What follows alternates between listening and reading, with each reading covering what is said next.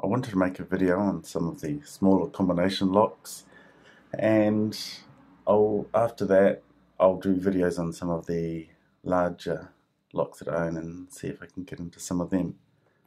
Okay, so let's push those out of the way. Let's start with this one. This one is um, quite a, a, a nice made lock.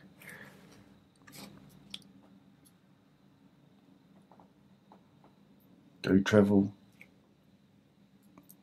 So the same old technique. I've just attached this for some for some tension. It's it's the same technique that uh, should be used for all these small locks. Really, apply some tension to the shackle. Start turning um, one of the discs with these small locks. It shouldn't matter which one you're starting with. This one sort of clicked into place uh, at 5 and it's very wiggly. Next disc, just trying to turn it without turning the first disc.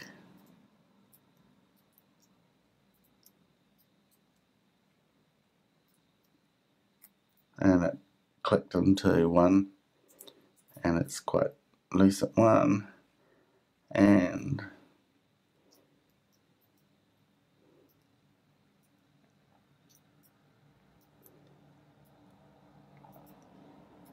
and it's open. So these uh, little locks I don't think they have any false gates. The next one I'm going to do the exact same thing. I'm going to start tuning. And it seemed to click at 5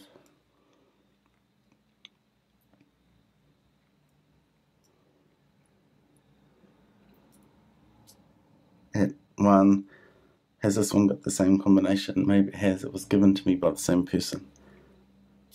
And it's open they, they just clicked into place exactly the same technique that can be used for many of these small locks. Okay, next one. Let's try this one.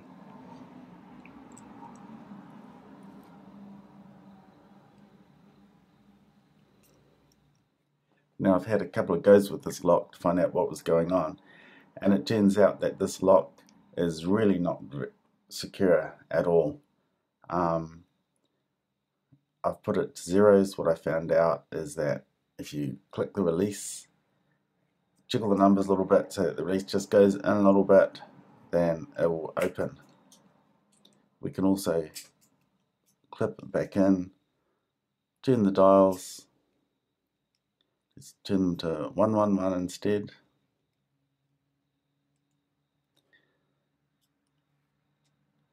Click the release button, jiggle the thumb so it just pops in a little bit and it opens.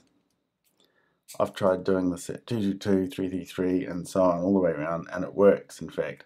It seems that I haven't found a combination of numbers where it doesn't work so I, I shuffle the wheels up randomly.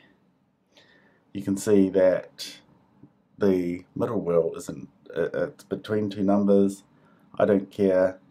I'm pressing on the release button just jiggle and pop the release button pops in a little bit and I can release it. So I'll just do that one more time, shuffle it to something that some random number, I'm going to press, jiggle, pull and it's open. So this lock, it's the most insecure lock I've ever found I think it's the number one most insecure lock. Okay, let's go to this one. This one is an old bicycle lock. I remember these um, many years ago. So the technique is to pull on both sides, start to turn the number, and it's the same as those other cheap locks. You just keep turning until it clicks into place.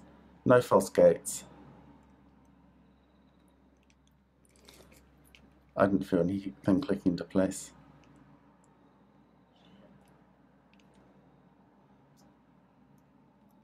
I think it might have been three.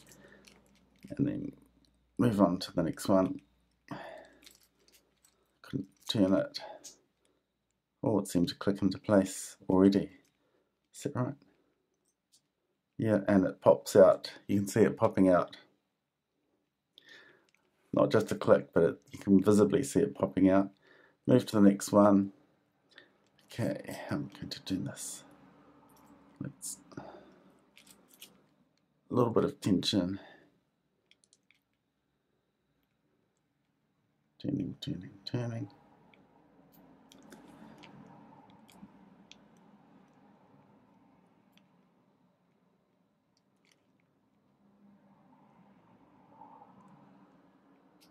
And it seems to click at this number and the last one. and it's open. So not very secure at all. And the last one, okay, with this lock, it's an old and dirty lock. Uh, the numbers were, the, the discs were really hard to turn, uh, especially under tension. So I had to spray some oil on it and it helped a little bit, but it's still quite a difficult lock to turn the, uh, to turn the numbers. So um, the reason why I'm showing you this lock is uh, if I not just tension it but twist it this way as I'm turning the numbers which I'm inclined to do while I'm holding it I could get to the right combination and it won't open uh, and I'd go right past the right combination. So I don't want to twist it this way. Try not to twist it the other way. Try and keep it straight. So I'm going to tension it straight at both ends. And I'm going to start with the first one. A bit of a click in six. A bit of a big click. That click you heard then it didn't seem to it was a click but it didn't seem to jump into it I didn't feel anything in the in the core same with that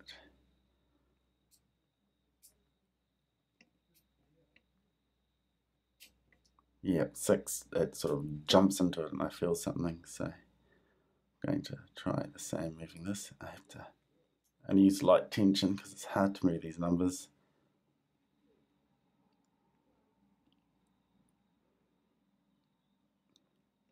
Oh, very difficult to move these numbers.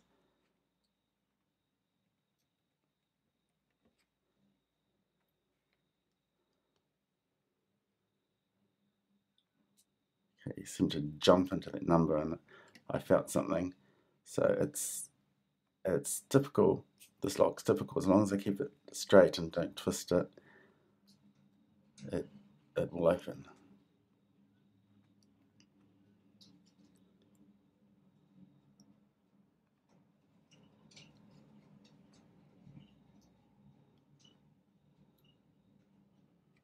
I didn't feel anything at all. I'm going to go the other way. I'm going to, or perhaps I'll go the same way, but I'll just, this wheel's easier to move, I'm going to increase my tension.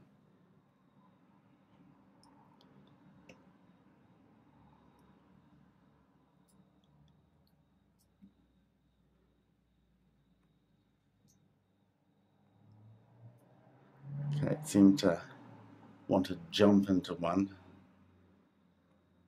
and uh,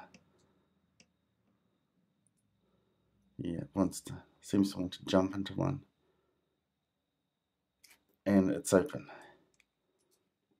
So, yeah. So all these locks, these combination locks, they don't have false gates and they're very easy to open. Don't lock up your valuables with these small or old locks.